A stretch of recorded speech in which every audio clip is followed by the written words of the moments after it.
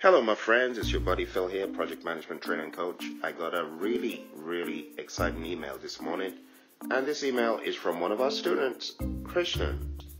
This is a really special email. It reads Hi, Phil. Just out of the exam center at Mumbai. Glad to inform you that. Now, before I tell you what exactly is here, you might want to go back into the archives. I have fast facts that were created specially for this student, Krishnan. Krishnan was also part of my Formula Mania class and also part of my recently concluded PMP exam tech camp. He attended all the sessions for five days. Little did I know that he was planning to go to Mumbai to do what he did today.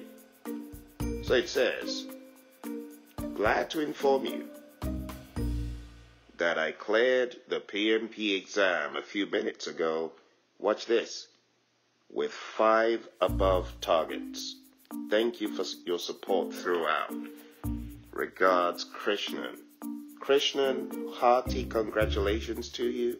You got no idea how happy I am, buddy. We've been on this journey for a long, long, long time. I can remember when you first told me about your hardship with the PMP exam and how it was giving you a tough time.